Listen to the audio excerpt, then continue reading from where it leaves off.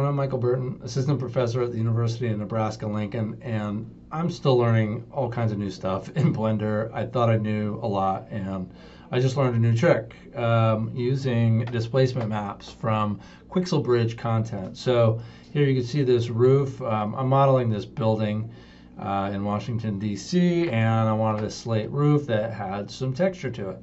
Um, this is by no means perfect, and I've learned a lot of this from Ryan King Art, but uh, thanks, Ryan, for all of your help. Um, these are things that will help you, hopefully.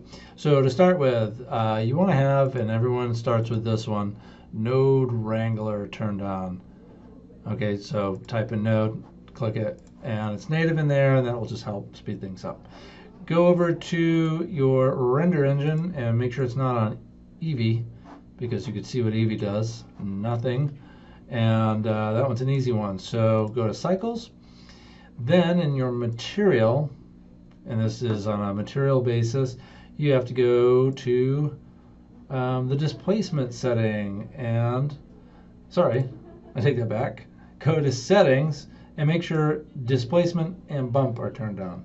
If you go bump only, nothing happens. So displacement and bump are on, and you'll get this. Okay, so now um, when you're in Bridge, you've downloaded something straight into Blender using the plugin. I'll be honest, I don't remember the plugin or how I got this set up, but I did, and there's lots of videos on it. But I downloaded it and I exported it, and now I'm going to click these three little dots and go to Files, and that's because the displacement um, layer is just, or image is not brought into Blender. So here's what it looks like when you bring it into Blender. move that one out of the way, and I go to the shading editor. Um, it will not have, on most of them, um, the displacement turned on. Let me move this over so you can see this in real time. So um, I was over here cranking up normals because I'm like, okay, that's really going to help for what I do with my animations for this stuff to show up, but it looks a little bit uh, flat. So, you know, you can keep that normal map turned on. It cranks up the darks. And then you're going to want to drag in the displacement map. So drop the displacement map over here. And let me zoom in a little more. Um, okay, so a couple things you're going to need to do is plug it into the displacement. Shift A for Node Wrangler and open displacement. And you're going to drop a displacement node there. Then you will take that displacement node and bring it into your material output. And then something insane like that will happen, which is okay. Let's bring the color over to the height. So let me show that a little more closely. Color of the displacement to the height.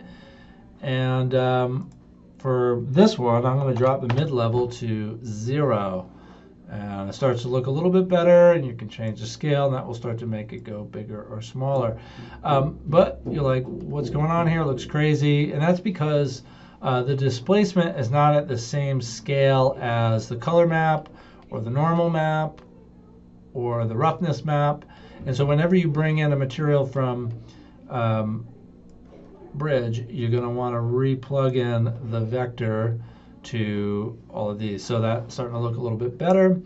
And by the way, if texture coordinate and mapping are not already um, part of your setup, when you bring over the material, uh, you can always shift A, search, and add them. So I'm not going to add them right now. Um, with that said, you're going to want to have vector plugged into each of the vector settings here for your normal map, your displacement map, your roughness, your image, your color image, and all that. And um, I also have mine rotated one way or the other. Okay, so that's looking a little bit better. And um, I think I'm going to set my scale to 0.9. I wanted it a little bit smaller to begin with. Okay, and now uh, we can drop the scale on the texture map quite a bit. Um, this one, I just needed it at like 0.2. Um, I just wanted a little bit of a, of, a, of an edge there, maybe 0.3. So it really depends on the scale of your model. But the last thing, um, none of this is going to happen if you don't have geometry set up on here.